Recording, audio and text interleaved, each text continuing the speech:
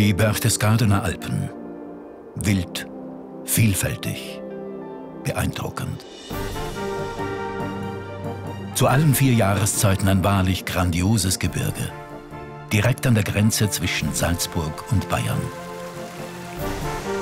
Auf bayerischer Seite überragt ein Berg alles und ist das Wahrzeichen dieser Region. Der Watzmann. Eine faszinierende Bergwelt.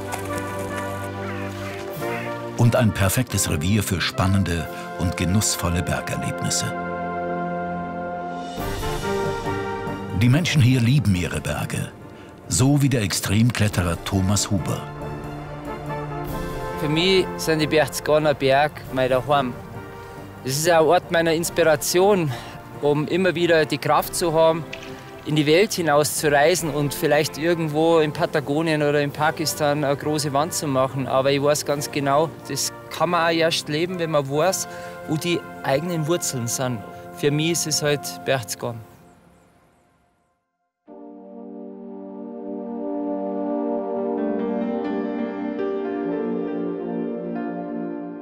Die Berchtesgadener Berge breiten sich südlich von Salzburg und rund um den Ort Berchtesgaden aus, in der südöstlichsten Ecke Bayerns.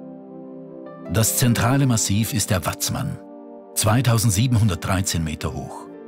An seiner Ostseite liegt der Königssee. Und um ihn erheben sich mehrere Gebirgsstöcke, zu denen auch der Untersberg gehört. Dieses rund 70 Quadratkilometer große und knapp 2000 Meter hohe Massiv begrenzt die Berchtesgadener Alpen nach Norden hin ins Salzburgische.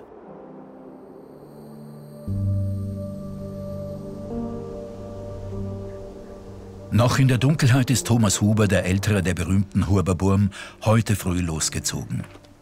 Zusammen mit seinem Kletterkameraden Michi Grassel. Die beiden steigen hinauf zum Fuße des Untersberg.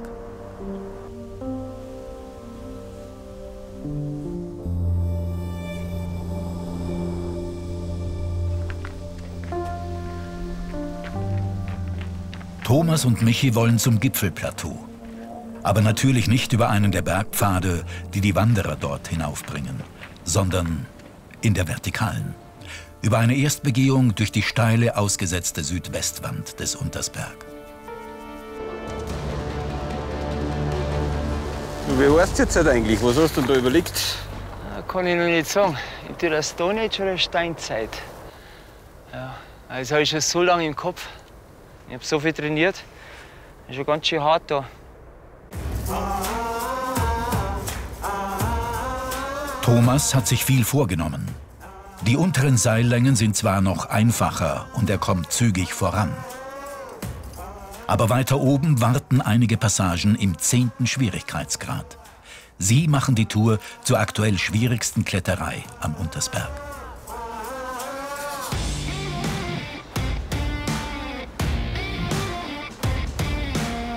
Ich habe alle Passagen schon mal durchgeklettert, aber noch nie in einem Stück. Und äh, ich glaube, dass ich heute, äh, wenn es einigermaßen von den Temperaturen her passt, äh, ganz gute Chancen habe, es durchzusteigen.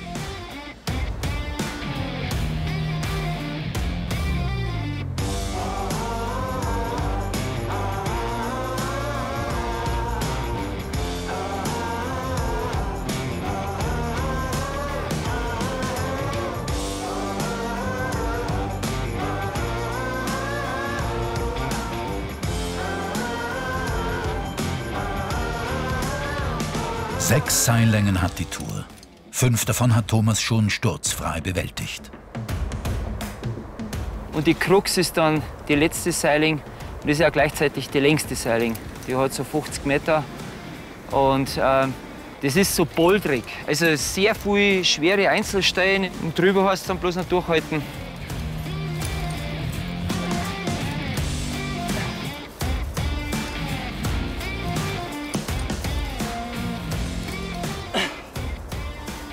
Safe. Es ist warm. Thomas schwitzt an den Fingern. Das verschlechtert den Grip und erhöht den Kraftaufwand.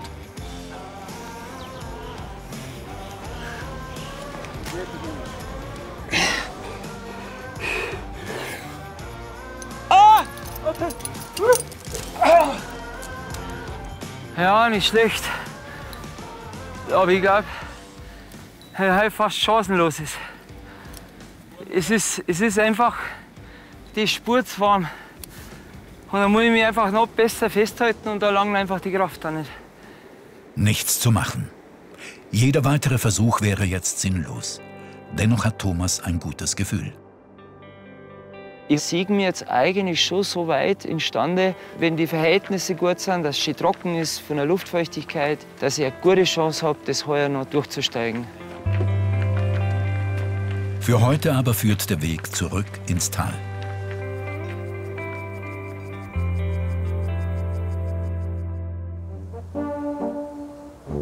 Zurück ins Tal, das gilt auch für das Ereignis, das Anfang Oktober frühmorgens an der Fischunkelalm beginnt.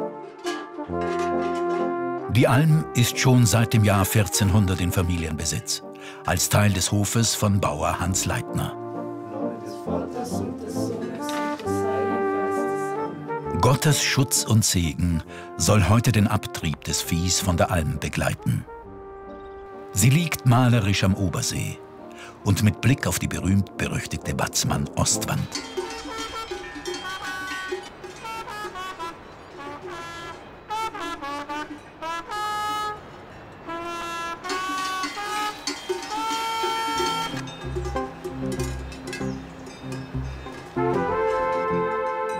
14 Kühe und Kälber müssen heute zurück in den heimatlichen Hof. Für die Tiere eine abenteuerliche Tour über einen Bergsteig, der vom Obersee zum Südufer des Königssees führt.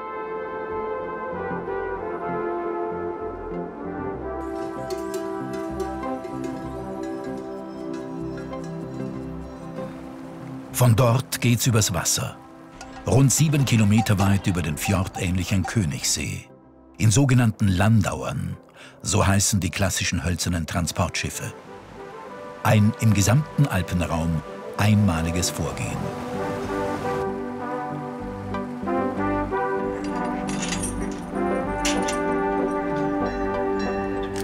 Die Überfahrt über den See erfolgt noch ungeschmückt. Erst nach Ankunft an der Seelände in Schönau wird aufgekranzt. Aber nur wenn alle Tiere über den Almsommer gesund geblieben und auch in der Familie niemand gestorben ist, erhalten die Kühe ihr Fuikel, den aufwendigen Kopfschmuck.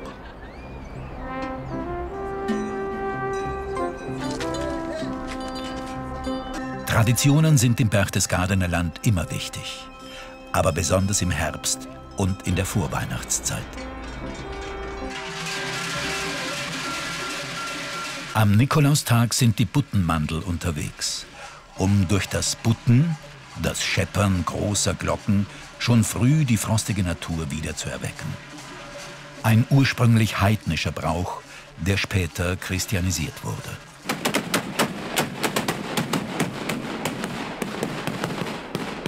Auch die Weihnachtsschützen, zu denen auch Kletterstar Thomas Huber gehört, wollen mit ihrem Lärm die düstere kalte Jahreszeit schnell vertreiben. Ab Mitte Dezember bis zum Neujahrstag hallen ihre großkalibrigen Böller durch den Berchtesgadener Talkessel.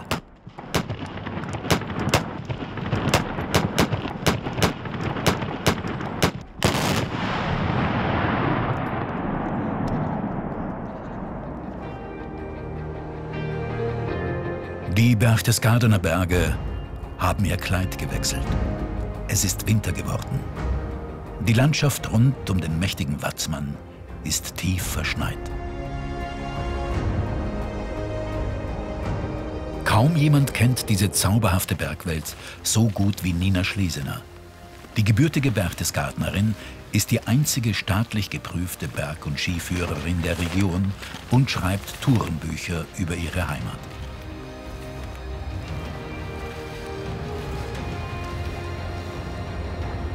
Berchtesgadener Berge, das ist tief in mir verwurzelt, das ist ein Teil von mir. Das ist schon so in mich hineingewachsen, dass ich auch ohne dem gar nicht mehr leben könnte. Für mich ist das einfach Heimat. Das ist da, wo ich herkomme, wo ich hinkehre, wo ich Kraft tanken kann, wo ich mich auch daheim fühle. Heute ist Nina Schlesener auf einer ihrer Lieblingsskitouren unterwegs und auf den Spuren ihrer Kindheit. Ja, das Schneibsterhaus darf ich seit meinem dritten Lebensjahr mein Zuhause nennen. Da bin ich aufgewachsen, da habe ich meine Kindheit verbracht, meine Jugend. Ja, und es ist tief in mein Herz gewachsen. Meine Eltern waren Hüttenwirte am Schneibsterhaus und deswegen Sommer wie Winter waren wir da herum.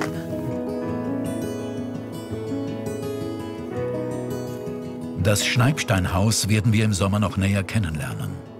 Heute folgen wir Nina weiter in Richtung Schneibsteingipfel. Diese Skiroute ist ein Klassiker in den Berchtesgadener Alpen. Sie führt auch über das Karl von Stahlhaus. Gut 1700 Meter hoch gelegen, gehört die Hütte bereits zu Salzburg.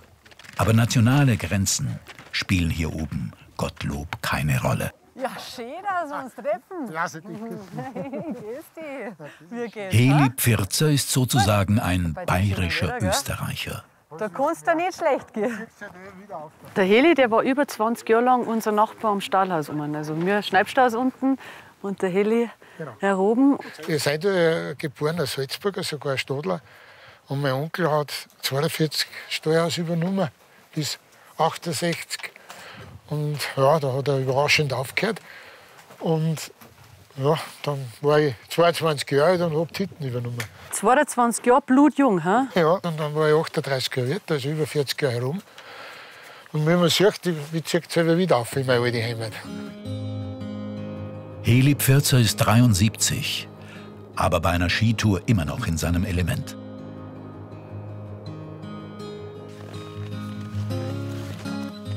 Jetzt bin ich fast 13 Jahre in der Pension und wo zieht es mich hin? Alle wieder auf Berchtesgaden. Ich wohne in Salzburg und mein Heimat ist einfach da herum und für mich ein Traumtourengebiet.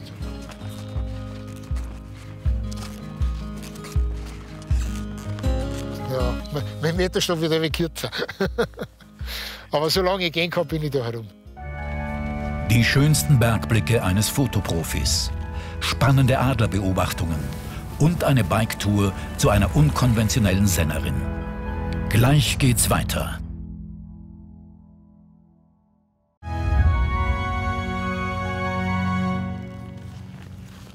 Vor der Kulisse der Watzmann-Ostwand erfolgt der Aufstieg zum knapp 2300 Meter hohen Gipfel des Schneibstein.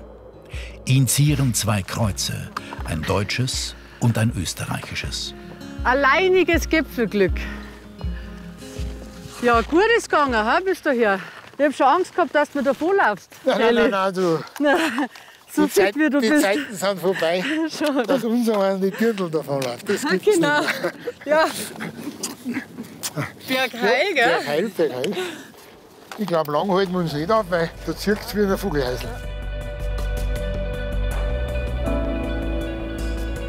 Der Schneibsteingipfel ist sowohl im Sommer als auch im Winter relativ einfach zu besteigen. Aber generell sind die Berchtesgadener Berge für Skibergsteiger nicht zu unterschätzen.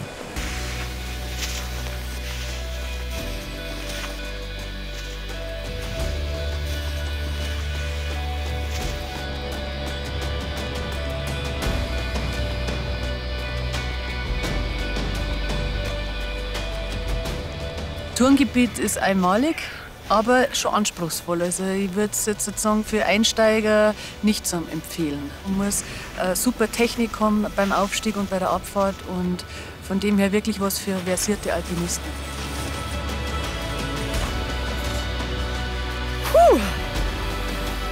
So, Boah, was für ein Ausblick, ha? Groß und mächtig, schicksalsträchtig. Der Watzmann. Er ist das dominante Bergmassiv der Berchtesgadener Bergwelt. Mit seiner furchteinflößenden Ostwand und mit einer grausamen Sage, die sich um seine Entstehung rankt. Ihr zufolge tyrannisierte einst der böse König Watze das Berchtesgadener Land. Doch dafür musste er büßen. Denn als Strafe für seine Gräueltaten verwandelte Gott ihn mitsamt seiner Familie zu Stein. So entstanden Watzmann, Watzmann-Frau und die Watzmann-Kinder. Ihr Ensemble prägt seither die Silhouette der Berchtesgadener Berge.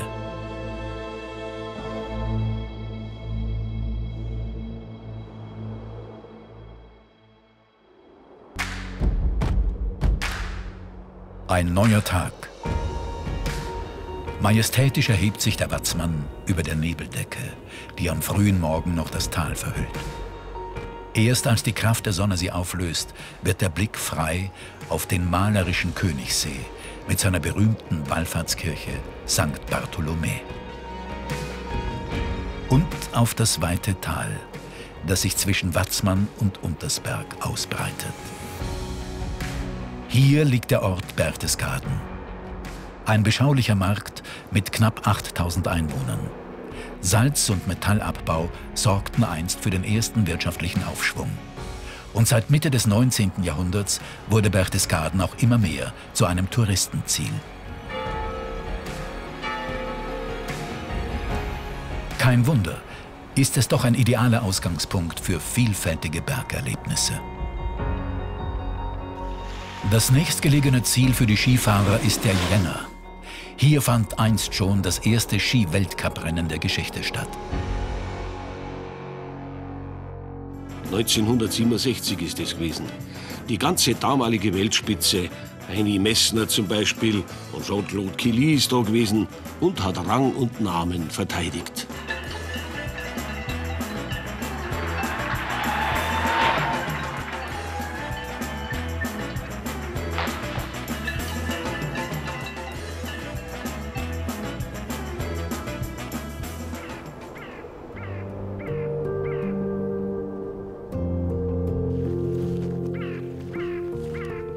Frühmorgens zieht Georg Greiner seine Spur in den Schnee.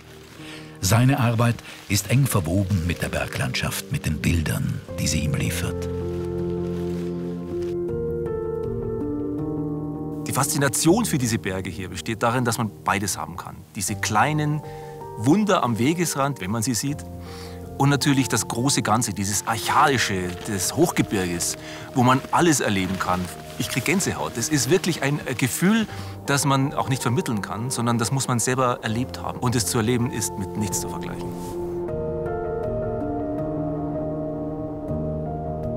Georg Greiner ist ein herausragender Landschaftsfotograf. Und schon seit seiner Jugend ist er hier mit der Kamera unterwegs.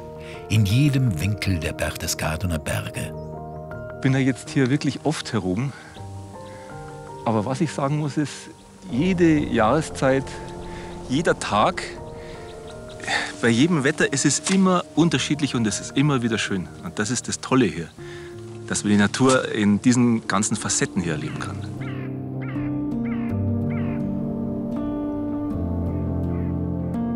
Die Motive, da muss man nicht viel machen, die sind ja schon da eigentlich. Man muss sie nur sehen. Und dieses Sehen ist halt dann die Kunst bei der ganzen Geschichte. Georg Greiner nur einen Fotografen zu nennen, wäre zu wenig.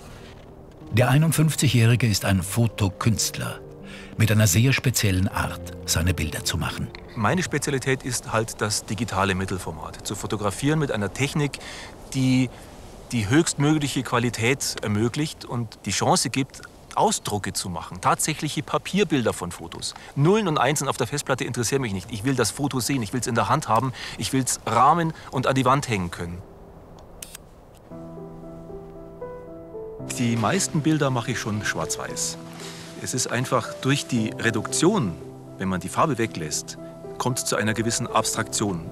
Ich möchte ja dem Betrachter nicht das zeigen, was ich jetzt sehe, sondern einer ganz anderen Ebene ansprechen. Das geht mit Schwarz-Weiß ganz hervor.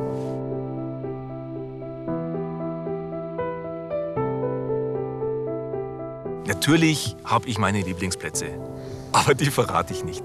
Denn das, was ich hier besonders schätze, ist diese Einzigartigkeit der Landschaft und vor allem Orte, die meiner Ansicht nach unberührt sind, wo ich für mich sein kann.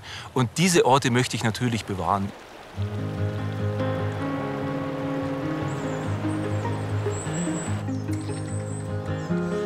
Lang hat sich der Winter in den Bergen gehalten. Und erst spät ist der Frühling aufgekommen. Viel Schmelzwasser speist jetzt den Rötbachfall. Mit rund 470 Metern der höchste Wasserfall Deutschlands. Die Natur in den Berchtesgadener Bergen steht voll im Saft. Auch am malerischen Hintersee, am Fuße der Reiteralben. Unweit des Sees liegt das Klausbachhaus. Ein denkmalgeschützter Hof, dessen Wurzeln bis ins 14. Jahrhundert zurückreichen. In ihm ist auch eine Informationsstelle des Nationalparks Berchtesgaden untergebracht. Und von hier machen sich heute Park Ranger Jochen Grab und zwei Praktikantinnen auf den Weg. Sie wollen Steinadler beobachten und wandern dazu ins hintere Klausbachtal. Das grüne Klausbachtal, das täuscht fast ein bisschen. Äh, es ist zwar alles bewachsen, bloß die Bodenauflage, die eigentliche Humusschicht, die ist sehr, sehr dünn. Diese Mischung sozusagen aus Wasser und Gestein an den Klausbach einerseits, der das Tal prägt, und andererseits eben den Schutt, der durch den Bach eben nach außen transportiert wird und dadurch das Tal formt.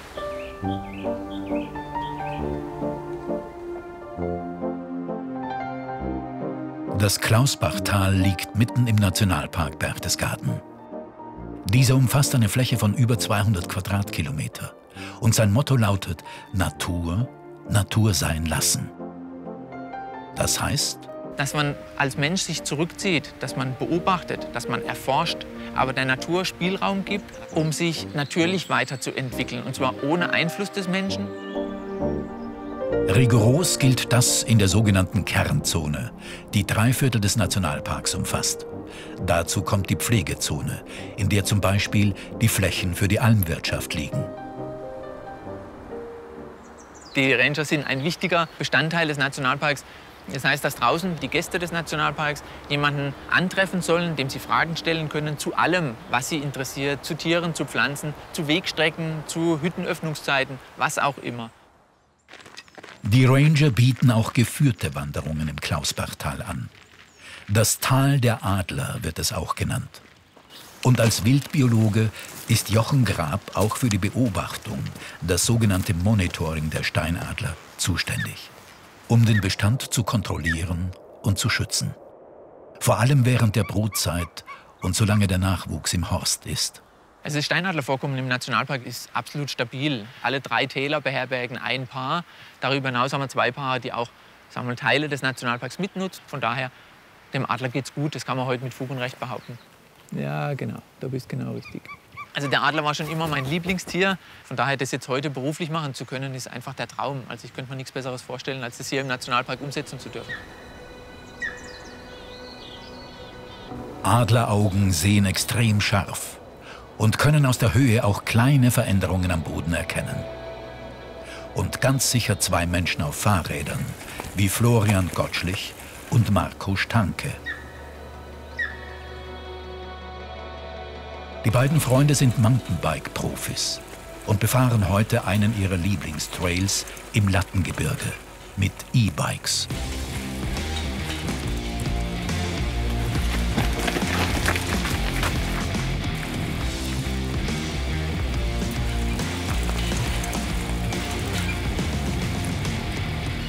Wer in die Berchtesgadener Berg unterwegs ist mit dem Radl, muss sich auf jeden Fall darauf einstellen, dass es sehr steil wird.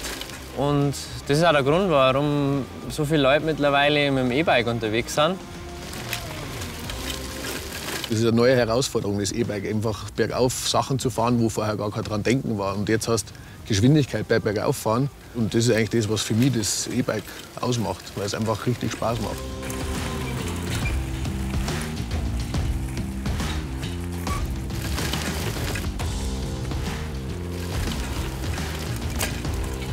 Im Prinzip ist das wie Trailfahren mit einem Trailmoped, dass man schaut, schaffe ich die Steigung, schaffe ich dieses Gelände, schaffe ich den Trail bergauf.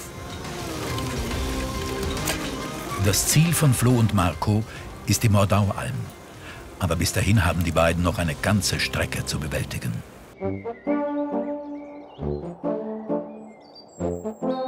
Das erste Morgenlicht beleuchtet den Watzmann und den Hochkalter. Vor diesem Bergpanorama liegt malerisch die Mordaualm. Und dort oben hat der Tag schon viel früher angefangen.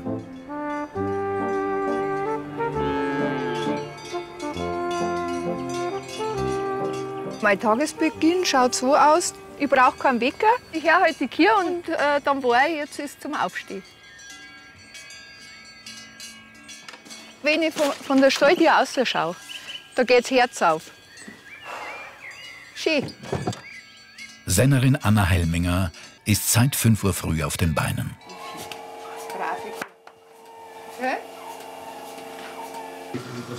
Die Arbeit ist so richtig schön, wenn es auch jeden Tag ist, aber es ist, man schafft was, man schafft wirklich die beste Qualität. Empfinde ich jetzt.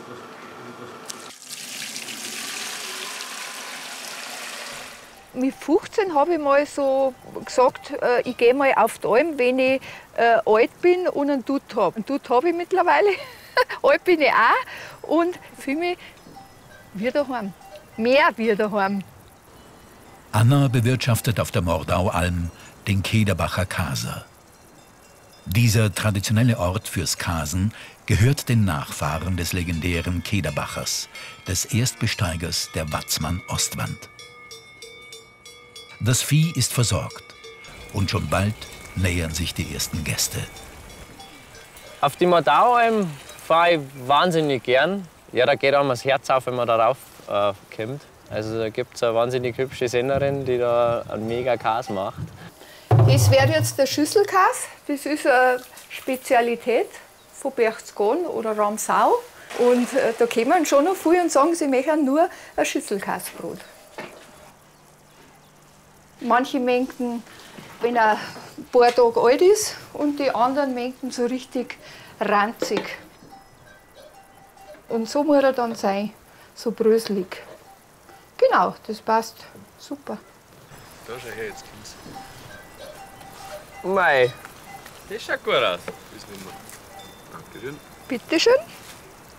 Das ist mein eingelegter Käse und das ist unsere Spezialität, der Schüsselkäse.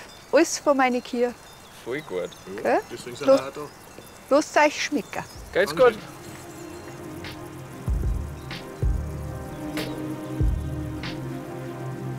Wenn ich da fertig bin, dann schaue ich, dass ich auf den Berg gehe und ich glaube, Ramsau, Berchtesgaden ist äh, wirklich ein Kraftplatz. Also ich habe da viel, viel mehr Energie, obwohl ich enorm viel arbeite.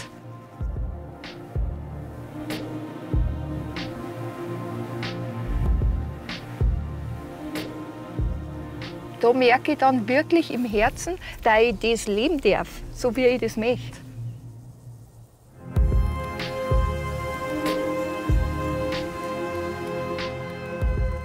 Und Dankbarkeit für die Natur, dass die da nur so ist, wie es ist. Das ist wunderbar.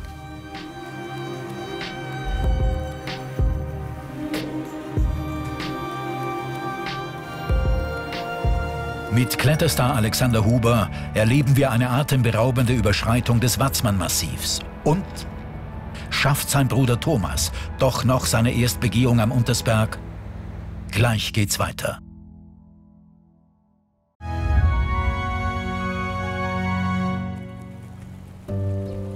Flo und Marco haben sich von der Mordaualm wieder auf den Weg gemacht. Im Nationalpark gibt es eine ganz klare Wegeverordnung. An die ist sich auch zu halten. Das ist ganz wichtig, dass man da nur die Wege befährt, die zugelassen sind. Außerhalb vom Nationalpark da gibt es ein Wegerecht für jeden. Da muss man sich halt selber ein bisschen einschätzen können. Was traue ich mir zu und was schaffe ich, ohne dass ich niemanden großartig störe und dass ich es halt selber auch runterschaffe. Die Bike-Route führt auch entlang des Salzalpensteiges, ein Weitwanderweg, der an den Salzhandel erinnert, der hier über Jahrhunderte auf alten Saumpfaden betrieben wurde. Schon vor 500 Jahren wurde in Berchtesgaden Salz abgebaut und bis heute ist hier das älteste Bergwerk Deutschlands in Betrieb. Mit Bergmann Stefan Sontheimer fahren wir 650 Meter weit in den Berg ein. Und 110 Meter unter der Erdoberfläche öffnet sich eine Kaverne. Ein riesiger Raum, in dem einst das weiße Gold abgebaut wurde. Wir möchten am Bergwerk irgendwie an unser Salz rankommen und dafür verwenden wir einen nassen Abbau. Das heißt, wir spülen Wasser rein in den Berg, dann löst sich aus dem Gestein das Salz raus. Das ist dann die sogenannte Sohle. Die Sohle ist schwerer als das Süßwasser, die geht immer zu Boden. Dort wird es dann abpumpt und eben in der Saline weiterverarbeitet. Erst ein Drittel des Salzvorkommens ist abgebaut. Die restlichen zwei Drittel reichen beim gegenwärtigen Verbrauch noch für etwa 200 Jahre. An manchen Stellen sind die Salzadern sogar gut im Gestein zu sehen. Der Salzgehalt geht hier im Gestein bei bis zu 50 Prozent. Die rötliche Färbung, die kommt vom Eisenoxid, das mit eingelagert ist.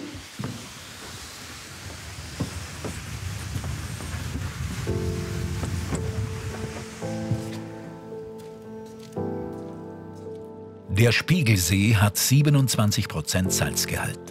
Mehr Salz kann Wasser nicht aufnehmen. Wie im Toten Meer würde man hier auch als Nichtschwimmer auf der Wasseroberfläche treiben. Das Bild trügt. Die vermeintlichen Felsstrukturen im Wasser sind tatsächlich das Abbild der Decke.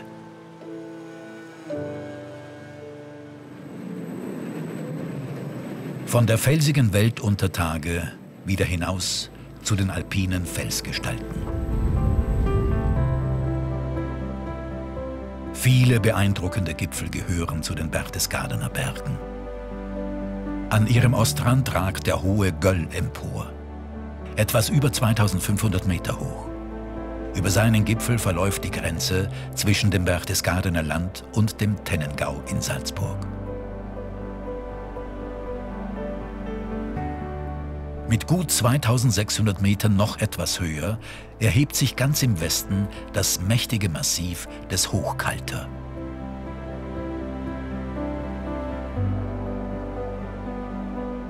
Und direkt ihm gegenüber thront im Hintergrund und im Zentrum der Berchtesgadener Berge der grandioseste von allen, der Watzmann, über 2700 Meter hoch. Ihn zu besteigen oder gar zu überschreiten, das ist der Traum unzähliger Bergsteiger.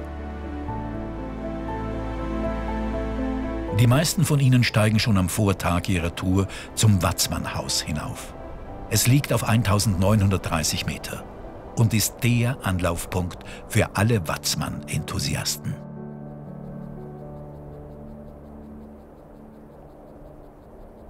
Wer das Massiv von hier aus überschreiten möchte, sollte früh aufstehen. So wie Kletterstar Alexander Huber.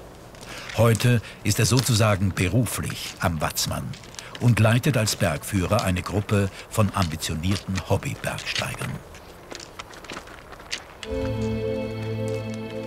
Insgesamt sind bei der Watzmann-Überschreitung fast 2400 Höhenmeter und über 23 Kilometer Wegstrecke zu bewältigen. Wahrlich kein Kinderspiel. Und eine echt fordernde Tour. Seit vielen Jahren ist Alexander der Jüngere der Hurberburm im Berchtesgadener Land zu Hause. Die Berchtesgadener Berg sind natürlich meine Bergheimat. Da bin ich zum Bergsteigen rangeführt worden. Und sensationell ist die Felsqualität, die wir tatsächlich bei uns in die Berge haben. Und nicht umsonst gibt es ja hier den Nationalpark. Es ist schon wirklich die schönste Berglandschaft bei uns in den nördlichen Kalkalpen. Am Hocheck ist die erste Etappe absolviert. Man kann sagen, dass der anspruchsvolle Teil von der Überschreitung mitten Hocheck beginnt. Bis zur Mittelspitze gibt es dann zwar einige Versicherungen, aber man darf das trotzdem nicht unterschätzen. Wenn man jetzt nicht wirklich mit äh, Klettern vertraut ist, macht es durchaus Sinn, auf den Bergführer zurückzugreifen. Es ist Absturzgelände. Beidseits des schmalen Grates tut sich der Abgrund auf.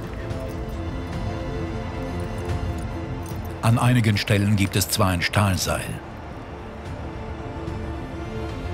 aber der größte Teil der Strecke ist völlig frei zu bewältigen.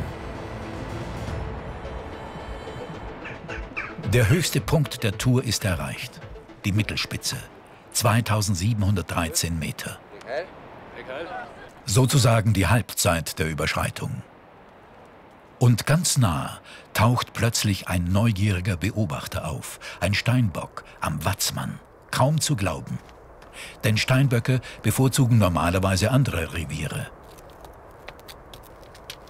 Einige Kilometer weiter östlich, im Hagengebirge, ist eine größere Population zu Hause. Schon im Mittelalter wurden die Steinböcke in den Berchtesgadener Bergen ausgerottet. Dann aber Mitte der 1930er Jahre hier wieder neu angesiedelt. Und sie sind eine der ganz wenigen Populationen im Alpenraum, die nie gekreuzt wurde und sozusagen reinrassige Alpensteinböcke blieben. Das Hagengebirge ist aber nicht nur ein wunderbarer Ort, um Steinböcke zu beobachten, sondern auch ein ideales Gebiet für eine Wanderung mit Kindern. Bergführerin Nina Schlesener will heute mit ihrer Schwester Kathi und deren Töchtern zum Schneibsteinhaus hinaufwandern. Die Berchtesgadener Berge im Sommer nämlich sehr lieblich war, weil man halt Blumenwiesen hat, dann sind die Kühe auf der Alm, die Berghütten sind offen, die Almen sind offen. Da können auch dann ähm, Leute, die jetzt nicht so bergaffin sind, äh, äh, nette Wanderungen machen.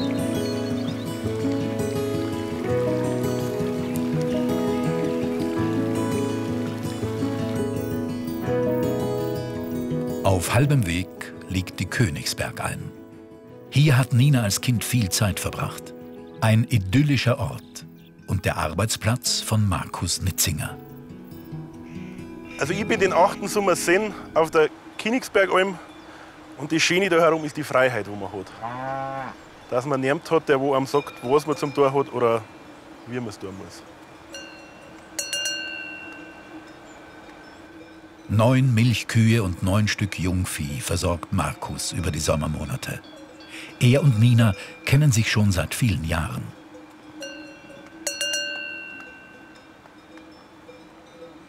Wie lange bleibt es noch herum? Bis morgen. Bis morgen. Mhm. Geht schon wieder an, oder wie? Morgen geht es auf Niederalm, ganz genau.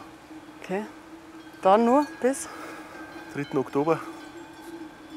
Dann geht's heim. Und dann geht's heim. Wie war genau. der Sommer? Gut. Schon, gut. Ja. Könnt's grenzen dann, Nein, oder? Wieder? können wir nicht. Wir haben eine Kaibe verloren. Ach, schade, Mensch. Hilft ja. nichts. Ja, kann man, Ist es so. kann, ist man nicht gefeit davor, Nein, gell? ist es so. Mhm. Gehört dazu. Es ist wie generell am Berg. Glück und Unglück liegen nah beieinander. Das gilt auch für jene, die sich mit nur wenigen Quadratmetern dünnstem Stoff in die Lüfte schwingen. Michi Grassel macht seinen Gleitschirm startklar.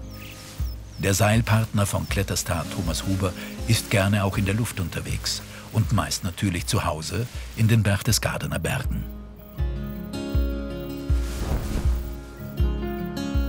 Der Gleitschirm ist für mich einfach äh, ein Bergsteiger-Utensil. Eigentlich so, wie es am Anfang war, weil aufgekommen ist das als Abstiegshilfe. Und ist am Berg aufgegangen und ist runtergeflogen.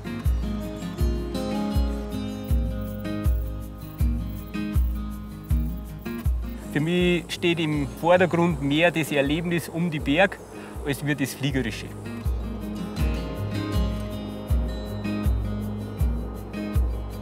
Bei uns im Berchtesgaden, das ist jetzt nicht das klassische Fluggebiet, aber wer hier fliegt, der wird begeistert sein. Man hat die Berg, man hat die Felswände, man hat den Königssee. Es ist einfach faszinierend.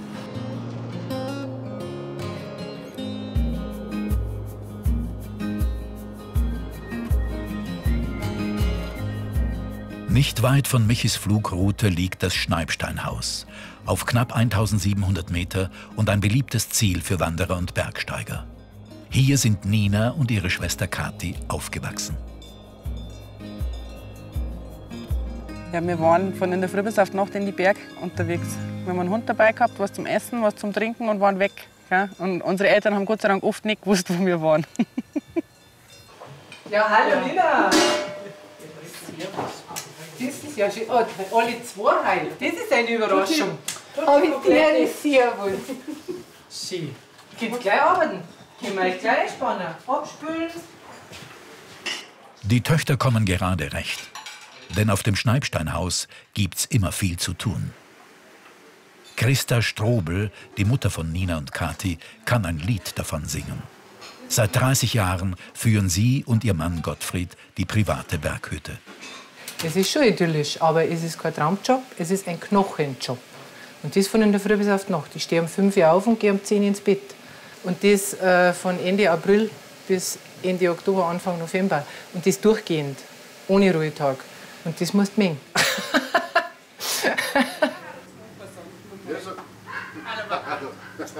Ich bin unmittelbar an der Talstation aufgewachsen und habe meine Kindheit, meine Jugend und eigentlich mein gesamtes Leben da herum in den Berg verbracht. Mir gibt es darum eine riesenhafte Zufriedenheit, der Umgang mit den Leuten, Leben in der Natur. Wir leben im Paradies, wir arbeiten im Paradies, wir wohnen im Paradies.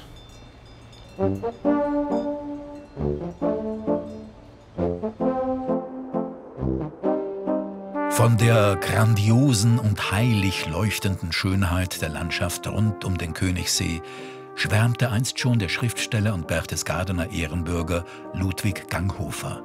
Er schrieb hier sieben Heimatromane, die alle im Berchtesgadener Land spielen und in den 1950er bis 70er Jahren sehr erfolgreich verfilmt wurden.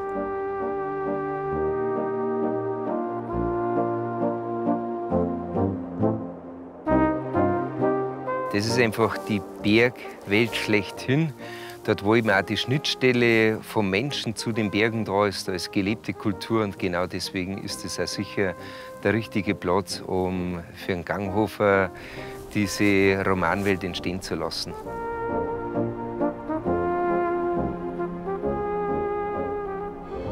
Profikletterer Alexander Huber und seine Hobbybergsteiger sind bei ihrer Watzmann-Überschreitung mittlerweile auf dem Weg von der Mittel- zur Südspitze.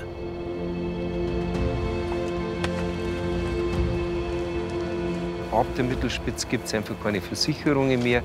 Das heißt, man ist da wirklich sehr selbstständig im hochalpinen Gelände unterwegs. Und da geht es einfach schon links und rechts richtig steil runter. Und deswegen schaut es da sicher nicht, wenn man einfach von Haus aus über die Trittsicherheit verfügt. Und naja, wenn man nicht gerade einen Schwindel kriegt, wenn man runterschaut.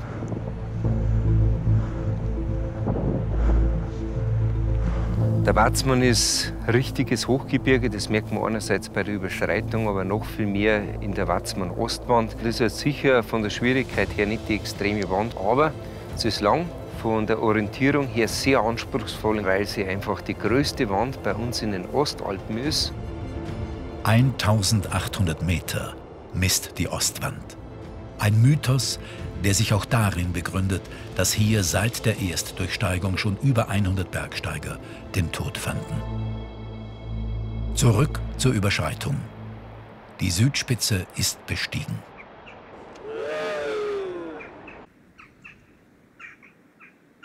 Aber die Tour ist damit keinesfalls bewältigt. Der Abstieg, der ist lang, der ist ausgesetzt, der ist steil und er ist wahnsinnig kraftraubend. Und von dem her heißt es wirklich, die Konzentration aufrecht bis zum letzten Meter, bis wir halt unten im Wimbach-Grüß im sicheren Gelände angekommen sind. Respektable 1400 Höhenmeter sind es noch bis hinunter ins Wimbachtal und zum rund 10 Kilometer langen Schuttstrom des Wimbach-Gries. Die Gesteine des Watzmann und des Hochkaltermassivs verwittern hier seit Jahrmillionen und bedecken als mächtige Schicht den Talboden. Das Wimbach-Gries führt nach Ramsau und dort, in Deutschlands erstem Bergsteigerdorf, steht die Statue des Watzmann-Pioniers schlechthin, Johann Grill, genannt der Kederbacher. Ihm gelang 1868 die erste Watzmann-Überschreitung. Er durchstieg als erster die Ostwand und war auch der erste Hüttenwirt auf dem Watzmannhaus. Ein Bergheld von heute ist Kletterprofi Thomas, der Bruder von Alexander Huber. Und sein Ziel ist immer noch die Erstbegehung seiner Route am Untersberg. Das, was bei der Routen wirklich so genial ist, ist halt alles, was der Untersberg zu bieten hat.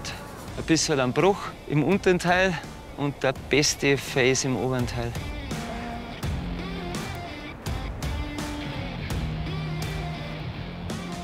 Thomas möchte die Wand Rotpunkt durchsteigen, das heißt von unten bis oben in einem Stück.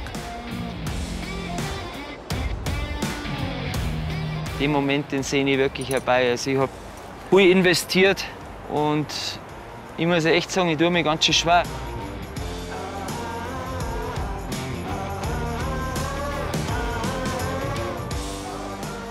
Thomas ist wieder in der sechsten Seillänge, im schwierigsten Teil, ganz oben in der Wand.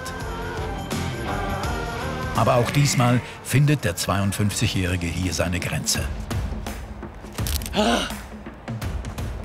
Den Ausstiegspunkt erreicht Thomas schließlich nur mit Seilhilfe. Das Im Alter ist das alles nicht mehr so einfach. Früher ist alles easy gegangen. Heutzutage ist das ähm, schwierig und trotzdem macht es wahnsinnig viel Spaß. Die Hände riechen nach Klettern. Das rieche ich total gern.